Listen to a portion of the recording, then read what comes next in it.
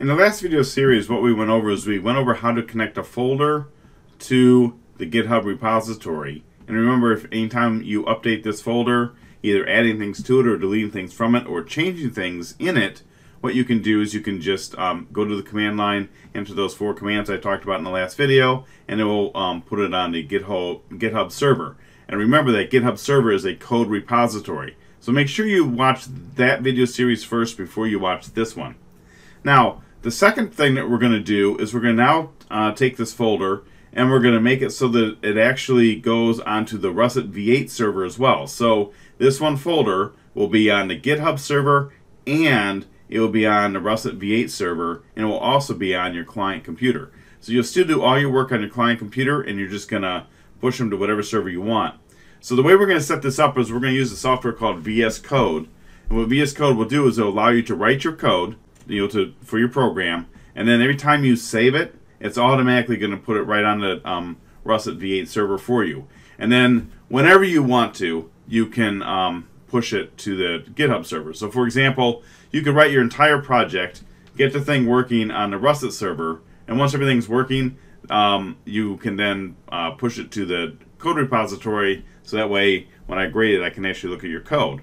Or if you're having any problem with it here, then you can just manually put it on the GitHub server. You know, just get as far as you can get, put it on the server, um, and then send me the link to the server where it's at and I can take a look at it. So uh, we're going to be doing two processes here. And again, what's going to happen is the contents of this folder are going to go on the GitHub server and they're also going to go on the Russet V8 server. So it's going to be two things. This runs the code so you can see it in the browser. This just uh, holds it as repository. All right, so let's go ahead and get started. First thing you're going to want to do is you want to download a free copy of VS Code.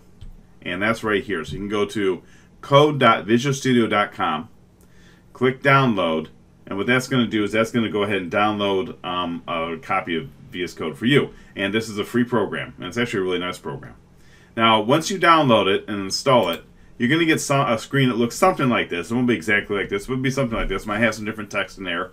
It's not going to have all these uh, files are here, so don't worry about that. Um, but it's going to this. And so what we want to do now is we want to put that on our um, our test git. Because remember, we, we created that test git folder, which is supposed to be like your CPS folder, CPS 276 or whatever. So let's take a look at uh, that just as a reminder. So from the last video, remember I created this test underscore git folder.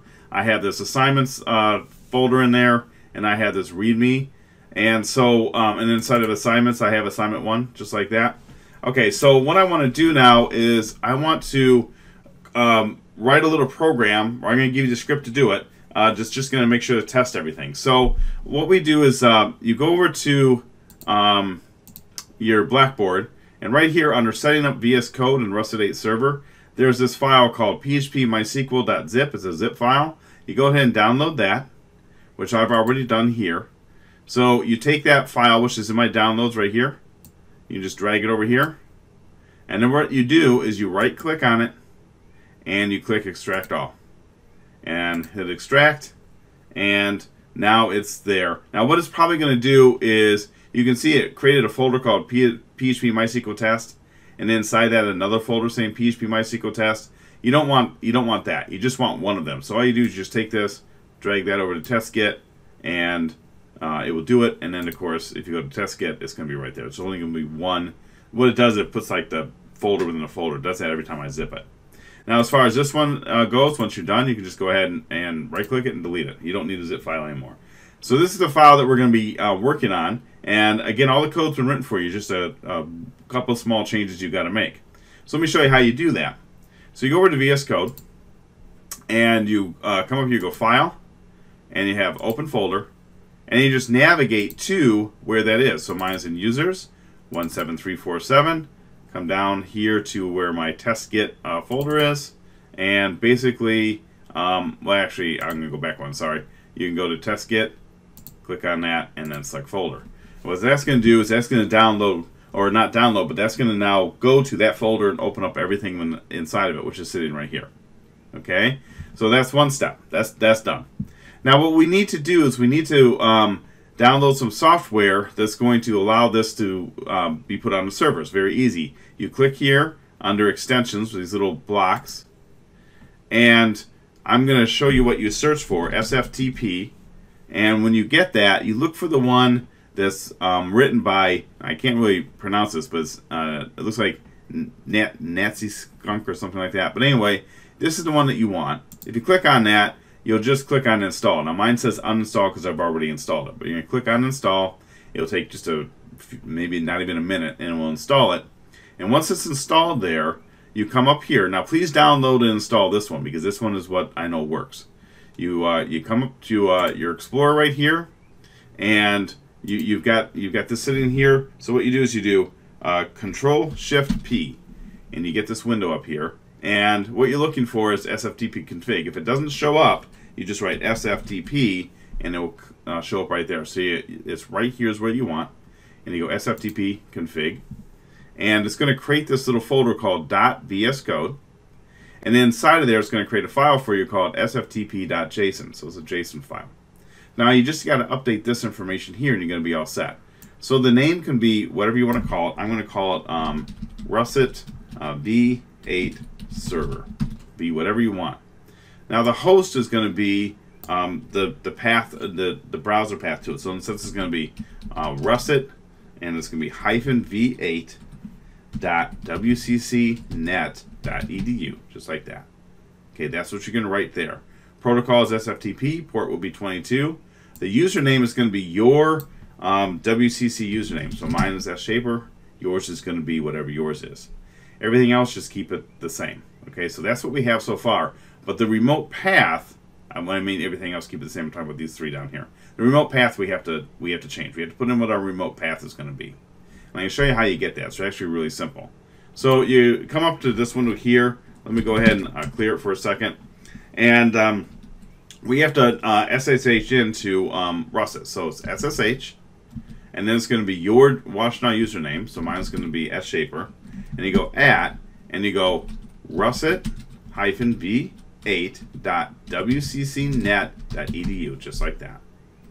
You hit enter, and it's going to ask you for the password. It might, before that, it might give you a prompt saying um, something about fingerprint identification. Do you want to do it? Just write yes. You're fine. Now, this is going to be your WCC password. And notice, as I type it in, you don't see it. And But trust me, it's being put in there. It's a security protocol from Linux.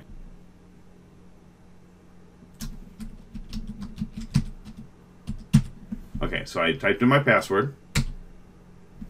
All right, and so now I've uh, I've got this. I've, I've logged in, and uh, if you look at um, the directory by just doing ls, you can see I have this public uh, underscore HTML folder. I need to go inside of that, so I go cd, change directory, um, public uh, HTML like that. Okay.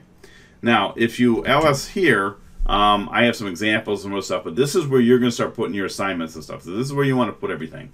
Okay, inside this public directory, you want to put your, um, for, me, for me, it's going to be my test uh, directory. For you, it would be your CPS 276, okay, or whatever. You Hopefully you named it that. All right, so I need to find out what's the path to get to here. Really easy. PWD. Once you enter that, hit enter. You come to this, and that is the actual um, remote path. At least it's part of it. It's not the whole thing. It's part of it. So you copy this. You go back to VS Code. You uh, paste that in like that. And then all you got to do is go uh, one more forward slash and then whatever the name of the directory is, which mine will be test underscore git. Now, what's going to happen is, uh, and make sure, see this right here? Make sure that you only have one forward slash, not two. Okay, it should be just like that. All right, so what's going to happen is when I um, save this, I can basically right click on assignments, right click on PHP MySQL test, whatever, and I can send that to the server. Whatever folder I click on, it's going to send that to the server. Okay.